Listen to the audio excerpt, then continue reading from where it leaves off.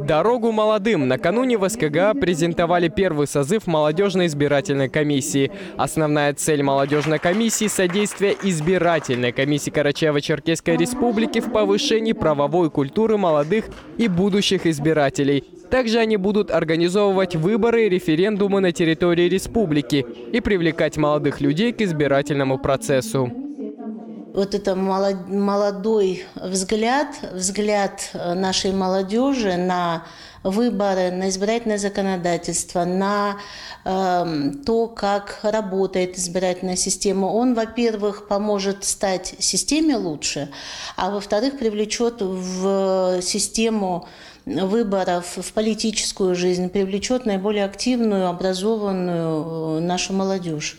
И мне кажется, что это очень важно. А давно вот такая существует молодая у нас, молодые люди в избирательной комиссии, ну вот такой круг? Ну, молодежь в избирательной системе, она присутствует всегда, то есть она, э, молодые люди являются членами избирательных комиссий с правом совещательного голоса, с правом решающего голоса. Очень много молодежи э, приходит в качестве наблюдателей, но молодежная избирательная комиссия – это вот первый созыв. Эти, э, эта комиссия, я надеюсь, вот сейчас они наработают опыт, э, и через год – мы надеемся, что именно эта комиссия проведет выборы молодежного парламента Карачаево-Черкесской республики. Он будет сформирован. Предварительно вот э, все эти вопросы уже проговаривались, э, скажем так, со взрослым парламентом КЧР. И э, мне кажется, что это в обществе появится еще один социальный лифт, который позволит вот а, активной молодежи, молодежи, которая ищет себя, найти, в том числе в политике. Может быть, они станут в последующем, а, там, войдут в какие-то политические движения, политические партии. Может быть, кто-то из них придет в избирательную систему.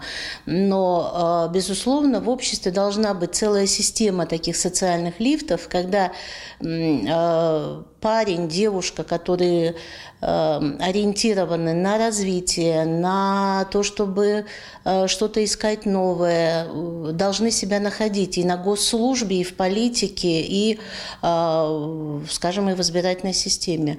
Э, поэтому вот даже первые шаги молодежи, которая э, представлена в молодежной избирательной комиссии, а ее рекомендовали нам и политические партии, и общественные движения, вузы. Вот э, уже первые шаги говорят о том, что они э, очень активные, они хотят себя реализовать. И наша задача максимально дать им возможность это сделать. А вот вы говорили про первый созыв, это первый, да? Да. Получается в истории, а уже сформирован, да? люди? Избирательная комиссия, мы принимали предложения больше месяца, а, опубликовывали, а, получили этот первый созыв. Те, кто не вошли, они вошли в резерв, потому что это жизнь, люди будут уходить, уезжать на учебу, возвращаться.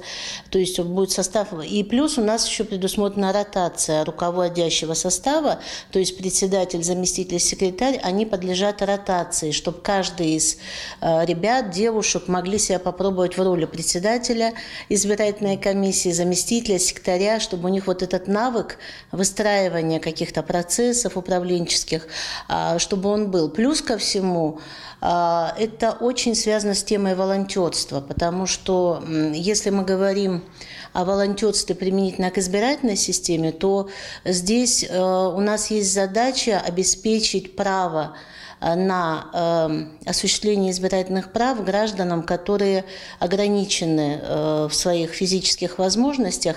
Да, безусловно, мы можем отправить к ним комиссию, которая поможет им вне помещения проголосовать на дому, если говорить языком бытовым. Но сегодняшнее время оно такое, что эти люди, они не хотят сидеть в четырех стенах дома.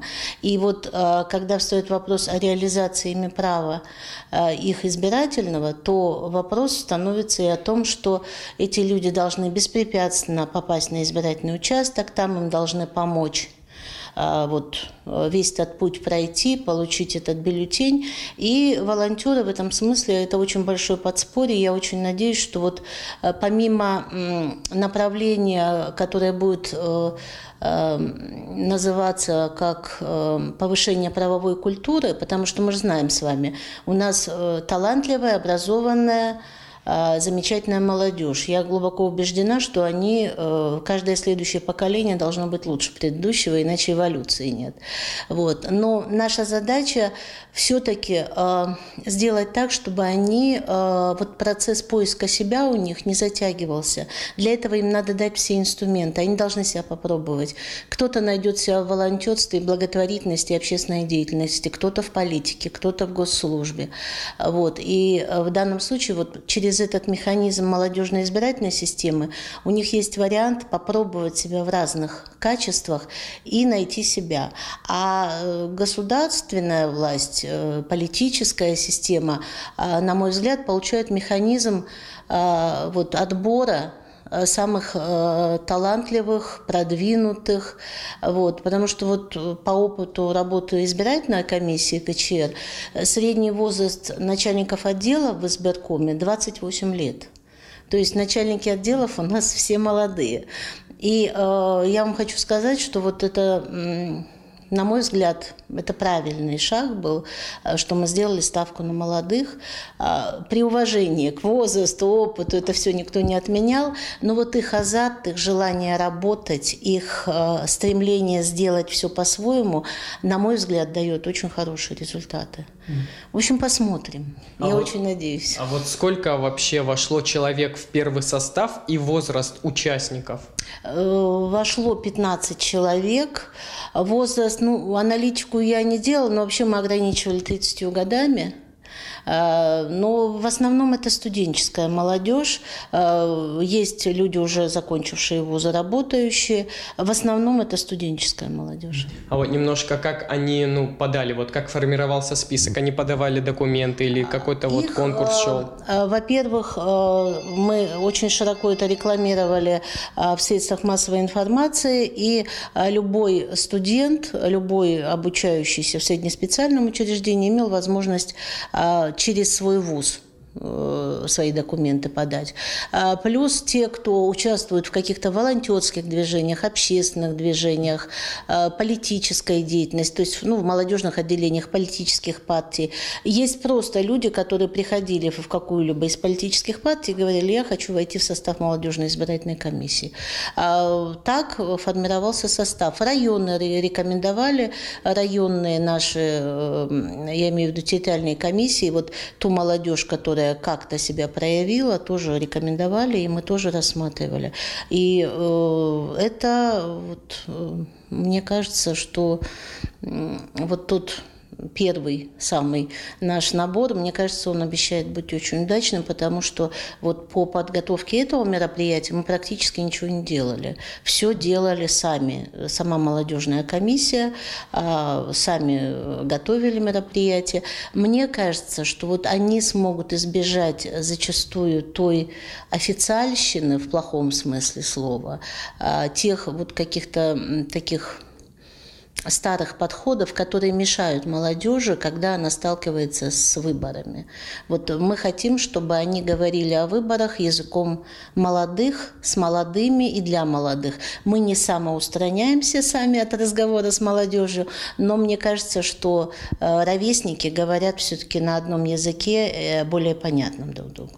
А вот в предстоящих выборах в сентябре они будут как-то принимать участие? Я очень надеюсь, э, потому что, во-первых, Безусловно, они сейчас вот уже делятся на направления работы, то есть кто-то будет заниматься просветительской деятельностью, повышением правовой культуры молодых избирателей, кто-то будет заниматься волонтерством. Вот сейчас у них есть возможность в зависимости от своих, а, скажем так, устремлений э, выбрать то направление работы, которое им ближе. А, и я абсолютно убеждена, что в выборах кто-то будет заниматься наблюдением э, за тем, как будут проходить выборы на участках, кто-то возьмет возьмет на себя взаимодействие с соцсетями и СМИ. Это тоже очень важное направление, потому что вот даже опыт президентской кампании показал, что э, молодежь откликнулась э, лучше на э, такие формы, э, допустим, как селфи-конкурс, э, чем на э, какие-то традиционные формы там, приглашений на выборы и все прочее. То есть молодежь... Э, Я, не, я готова спорить с оппонентами, которые говорят, что у нас молодежь там, не, не интересуется политикой, не активная. Молодежь у нас активная, она интересуется всем, в том числе политикой, но наша задача все-таки э, не навязывать им свои представления, а э, разговаривать с ними на том языке, который э, сегодня им ближе.